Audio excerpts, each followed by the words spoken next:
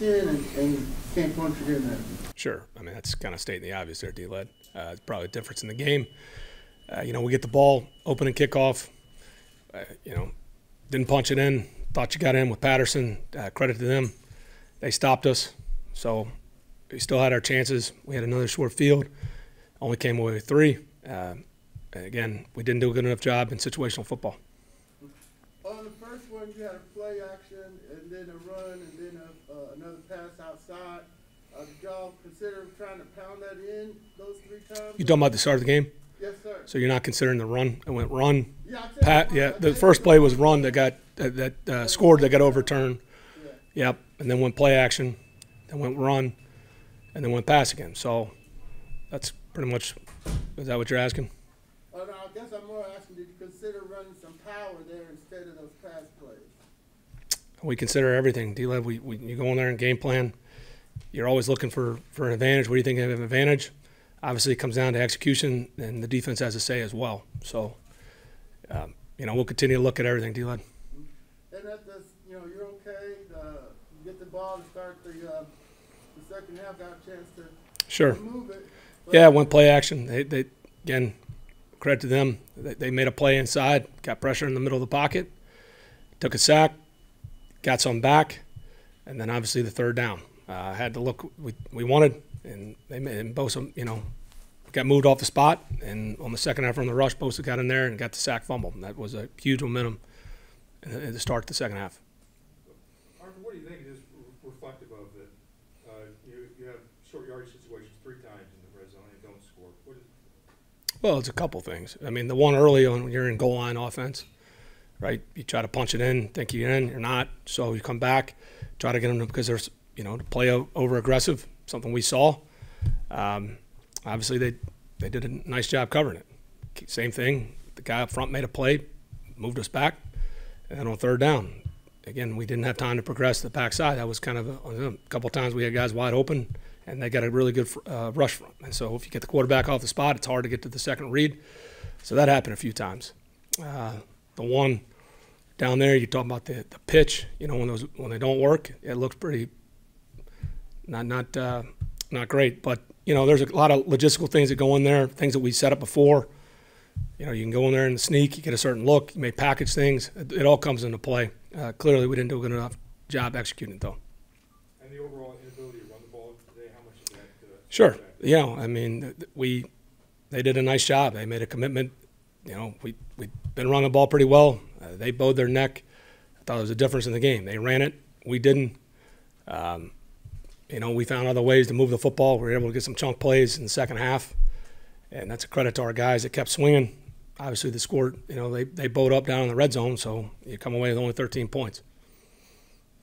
Did you have to change your plan at some point because of the rush, because you just couldn't? No, I mean it's more possessions when you're down, and and again you gotta. It's a fine line when you're playing a front like that, where you just you don't want to sit back there and be a sitting duck. So, uh, you know, we hit hit some very deep shots.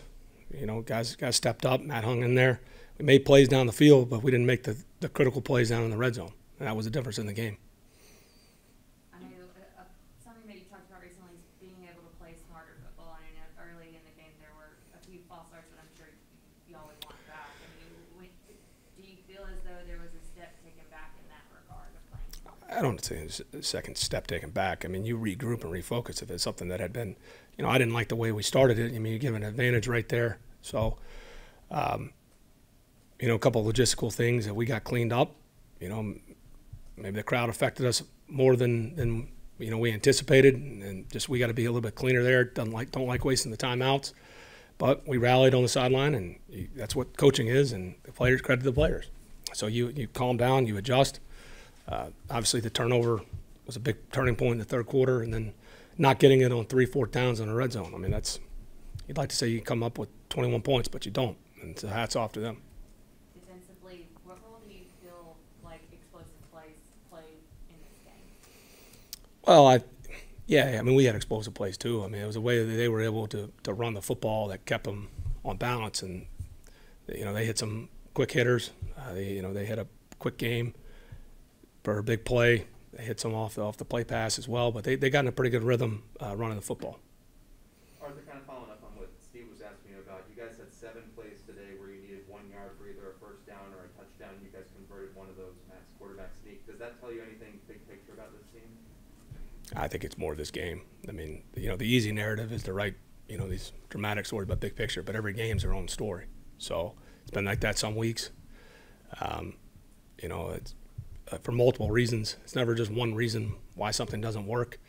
Obviously, when you get blown up, if it's a negative play, yeah, obviously you consider hindsight's twenty twenty. But those are easy narratives. I mean, the truth is, we this team has continued to, to get better. They continue to compete, and credit to San Francisco. They had a say in it, and they stopped us in the red zone. I know you said that you, you learn about players in, in certain games, especially in games like this. Um, in, in terms of Russell Gage, have you learned anything about him in terms of like the way he's been playing his past Yeah. few games and today? Absolutely. Uh, he goes in there and battles. All our guys do. Those receivers, they, they battle. Uh, I thought Kyle stepped up, made some big plays, made some tough catches. He's continued to, to improve.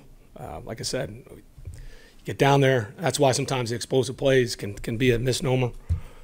Uh, because, you know, at the end of the day, it came down to situational football, and we didn't punch it in there. Did you see the Patterson score that was overturned? Yeah, I mean, I've got an opinion, but clearly that, you know, they saw something. They did. So they overturned it.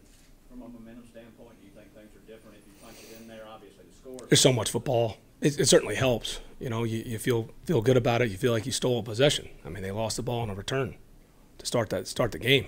Uh, so yeah, obviously you'd like to be able to punch it in, and we came away with nothing. So Do you feel the need to address your guys about the end of the season? Your playoff chances have really shortened.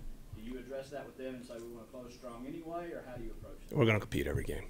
So you just keep swinging. A lot of crazy things have happened in the NFL. So we'll try to win the next one. Win one at home, and, and just keep chipping away and see what see what happens. Because there's a lot of things that what it looks like today. That's not how it's going to look like after Week 18. You guys that have covered this this league a long time, you guys know that. Usually, the last week of the season, you just wanted to have a mathematical chance. Crazier things have happened.